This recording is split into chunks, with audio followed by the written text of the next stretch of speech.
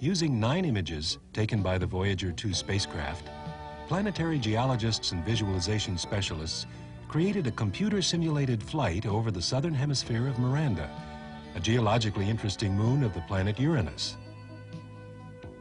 The flight takes us over a bewildering array of landforms.